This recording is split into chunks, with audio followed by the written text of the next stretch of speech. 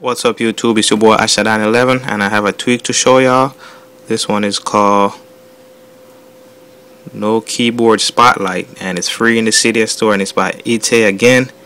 And basically this just hides your keyboard whenever you go to your Spotlight search because you know when you go there you got your keyboard pop up every time. Automatically just pop up. But with this tweak it's gonna hide that so I'm gonna download this tweak and show y'all what it does. I mean, you guys gonna see the difference.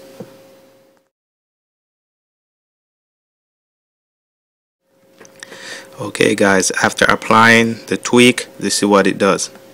When you go to your spotlight search, nothing pops up, no keyboard until you tap on search. Then you could search whatever, but that's basically what the tweak does guys. It just hides your keyboard while whenever you go to um your spotlight search until you tap on it. So that's what it is.